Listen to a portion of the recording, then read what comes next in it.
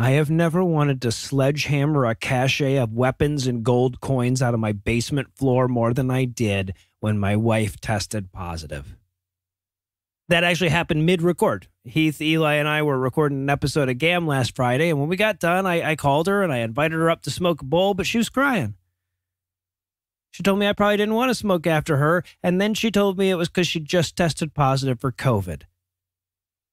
Now, look, we've all been through a lot of shit in the last couple years, so I understand that her situation isn't exactly unique, but Lucinda's dad has two really bad lungs.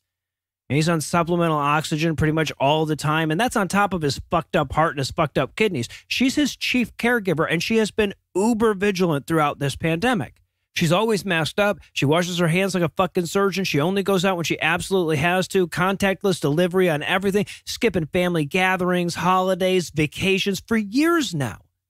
But of course, she's been doing that in the national epicenter of COVID denialism. Sure, Lucinda's always masked up whenever she goes anywhere, but she's usually the only one. She always washes her hands before she helps her dad with something, but she's not the only person that he sees.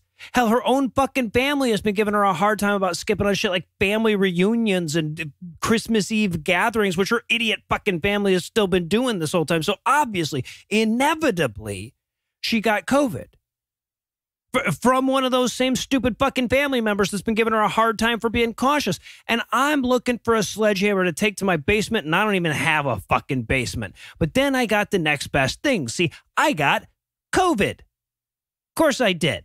And then all of a sudden, I started having these fantasies about John Wicking my way through the Walmart, except using my diseased coughs instead of a gun just rolling through one aisle after the other, hacking in the face of every unmasked jackass plague rat in the place. Or, or, maybe go surreptitious and just start a lot of, I think this COVID thing is bullshit conversations, but move in closer every time someone agrees with me.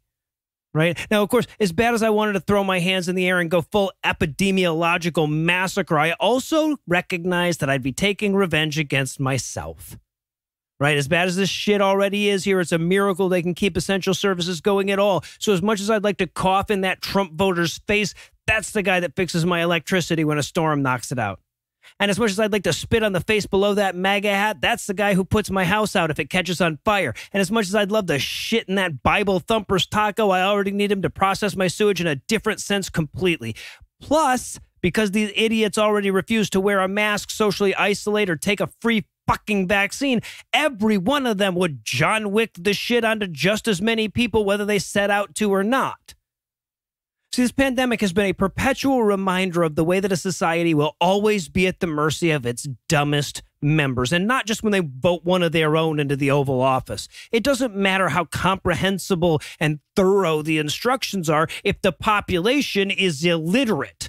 And so, as tempting as it can be to throw our hands in the air and be done with it, as much as we might want to climb onto a little hill, dig ourselves a big moat, and watch these idiots kill each other off from afar, we're fucking stuck with them. And look, nobody sees the futility more than we do. Our job descriptions include reading through creationist blogs and watching Christian movies every week. We stare the functionally endless budget devoted to the stupidization of our country right in the fucking face several times a week and have for years. And nothing could be more tempting than climbing aboard a spaceship with a thin minority of people on this planet that don't fucking suck and dipping out to Earth 2 without telling anybody. But unfortunately, there is no spaceship and there is no Earth 2. One way or the other, we're stuck with these motherfuckers. And if we're going to cross the finish line, we're going to have to do it dragging their asses, kicking and screaming behind us. And that's going to be all the harder because they'll have given us fucking COVID along the way.